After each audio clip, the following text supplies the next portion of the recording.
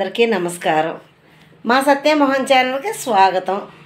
నేనండి మీ ఆంటీని. మళ్ళీ ఒక రెసిపీతో మీ ముందుకు వచ్చేసా. ఏంటంటే జున్ను అందరికీ చేతనవ్వ అనుకుంటున్నాను.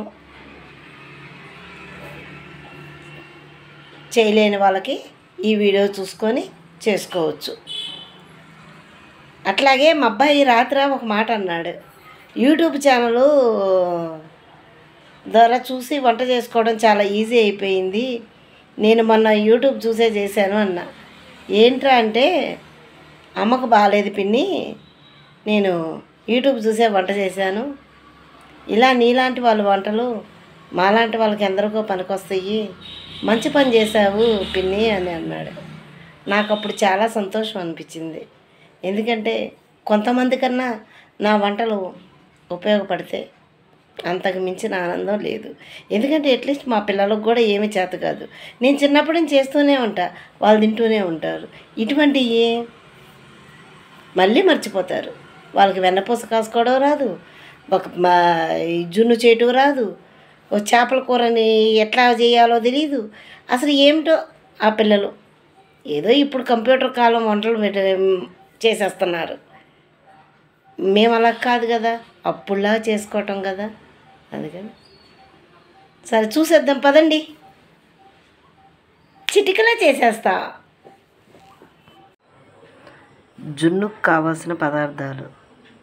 జున్ను పాలు ఓ పావుసేరు పావుసేరు మంచి పాలు.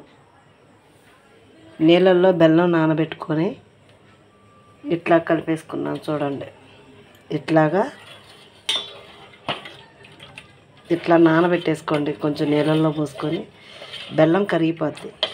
కరిగిపోయాక మిరియాలు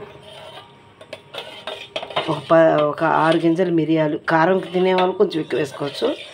కారం కొద్దిగా తినాలనుకున్న వాళ్ళు కొంచెం తక్కువ వేసుకోండి. మిరియాలు యాలకులే వేయండి. యాలుక్కాయ ఒకటి. నాకు దంచేది ఉంది. దంచేదంతా దంచేసుకొని వేసేసుకున్నాను. ఇంకా చూడండి ఎట్లా చేస్తున్నాను ఇప్పుడు. ఇగో పాలు.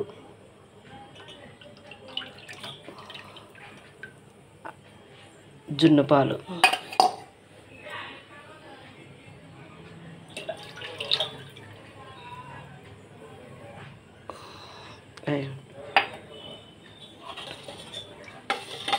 పావు గ్లాసు ఇంకా పావు సేరు బెల్లం వేయాలి. ఇట్లా వచ్చేస్తుంది? ఇట్లా వచ్చేసేసాక కలిపేసుకొని. ఏం లేదండి చక్క ఈజీ ఇది కూడా. రెండు కలుపుకోవటం బెల్లం కా చేయటం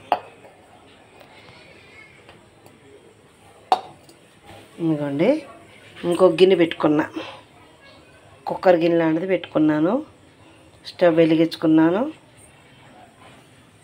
కొంచెం నీళ్ళు పోసా అడుగున. ఓకేనా? ఈ గిన్నె ఇప్పుడు కలిపేసుకున్నాం అన్నీ వేసుకొని ఈ గిన్నె దింటి పెట్టేసుకుంటాం.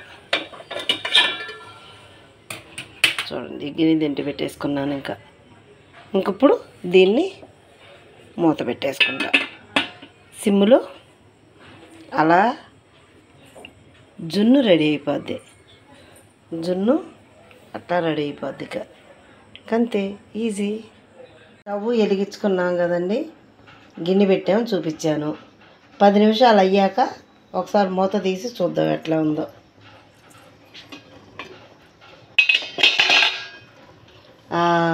చక్కగా అయిపోయింది. జున్ను జున్ను పాలు. ఇగో ఇట్లా నొక్కండి.